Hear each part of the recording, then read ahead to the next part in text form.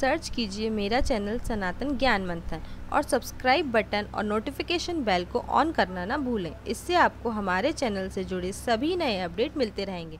नमस्कार दोस्तों, आप सभी का स्वागत है आपके अपने YouTube चैनल सनातन ज्ञान मंथन में। आप सभी के साथ व प्यार के लिए सादर धन्यवाद। आशा करती हूँ आप सभी को मेरे द्वारा बनाई गई वीडियो पसंद आ रही होंगी। मेरा उद्देश्य हिंदू धार्मिक कथाओं का ज्ञान आप सभी तक पहुँचाना है। तो इसी तरह हमारी सभी वीडियो को अंत तक ज़रूर देखिए व बने रहिए हमारे चैनल पर और जुड़े रहिए अपनी धर्म और संस्कृति के साथ। फ्रेंड्स, आज मैं आप सभी के लिए माता रानी के एक और रूप, त्रिपुर सुंदरी के जन्म से जुड़ी कथा को लेकर आई हूँ। आज हम जानेंगे कैसे मिला माता को त्रिपुर सुंदरी नाम। तो चलिए शुरू करते हैं आज की इस पावन कथा को। गुप्त नवरात्रि का तीसरा दिन, आद्य महाविद्या त्रिपुर सुंदरी का होता है। देवी त्रिपुर सुंदरी अनुपम सौंदर्य भक्तों को अभय प्रदान करने वाली यौवन युक्त और तीनों लोकों में विराजमान है और उन्हें कई नामों से जाना जाता है। इन्हें राज राजेश्वरी, बाला, ललिता, मीनाक्षी, कामाक्षी, शताक्षी, कामेश्वरी कहा जाता है। अपनी सुंदरता और मोहकता से देवासुर संग्राम में असुरों को वश में कर लिया था। कहते हैं कि त्रिपुर सुंदरी की आराधना करने वाले भक्तों को लौकिक और पारलौकिक शक्तियाँ प्राप्त होती हैं।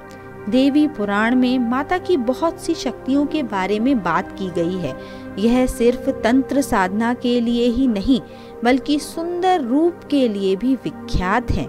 आइए जानते हैं इनके स्वरूप और इनके पीछे जुड़ी पौराणिक कथा के बारे में। देवी त्रिपुर सुंदरी शांत मुद्रा में लेटे हुए सदा शिव की नाभि से निर्गत कमल आसन पर विराजमान है। चतुर्भुजी भुजाओं में देवी के पाश, अंकुश, धनुष और बाण है। देवी के आसन को ब्रह्मा, विष्णु, शिव और यमराज अपने मस्तक पर धारण करते हैं। देवी तीन नेत्रों से युक्त और मस्तक पर अर्ध चंद्र धारण करती है। देवी त्रिपुर सुंदरी अपने भक्तों की हर प्रकार की मनोकामना को पूरी करती है।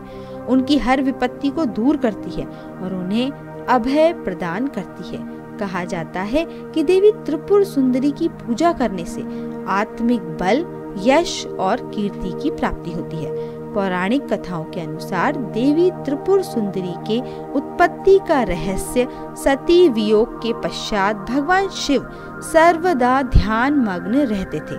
उन्होंने अपने संपूर्ण कर्म का परित्याग कर दिया था, जिसके कारण तीनों लोकों के संचालन में व्याधि उत्पन्न हो रही थी। उधर तारकासुर ब्रह्मा जी से वर प्राप्त किया था कि उसकी मृत्यु शिव के पुत्र द्वारा ही होगी। समस्त देवताओं ने भगवान शिव को ध्यान से जगाने के लिए कामदेव और उनकी पत्नी रति देवी को कैलाश भेजा। कामदेव ने कुसुम सर नमक मोहिनी बाण से भगवान शिव पर प्रहार किया। परिणाम स्वरूप शिव जी का ध्यान भंग हो गया। देखते ही देखते भगवान शिव के तीसरे नेत्र से उत्पन्न क्रोध अग्नि ने कामदेव को जलाकर भस्म कर दिया। कामदेव की पत्नी रति द्वारा अत्यंत दारुण विलाप करने पर भगवान शिव ने कामदेव को पुनः द्वापर युग में भगवान कृष्ण के पुत्र के रूप में जन्म धारण करने का वरदान दिया और वहाँ से अंतर्ध्यान हो गए।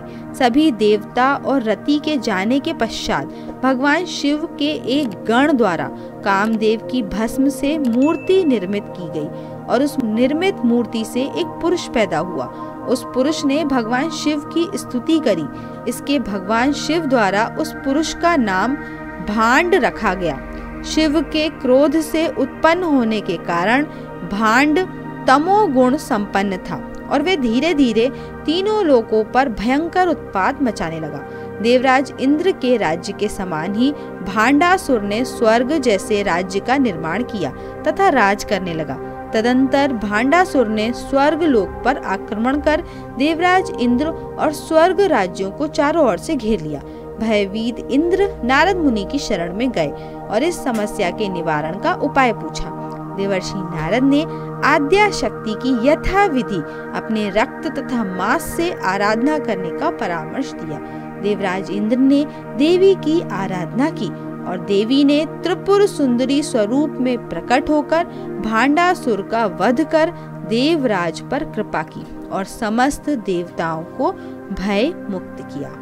तो दोस्तों, इस वीडियो को लेकर आपकी क्या राय है, हमें नीचे कमेंट करके ज़रूर बताएँ। और अगर आपको हमारी आज की कथा रोचक लगी हो तो इसे लाइक करें और ज़्यादा से ज़्यादा लोगों तक शेयर करें। और ऐसी ही और भी धार्मिक कथाओं के लिए सब्सक्राइब करें हमारे यूट्यूब चैनल सनातन ज्ञान मंथन को और फेसबुक पर फॉलो करें हमारे पेज को।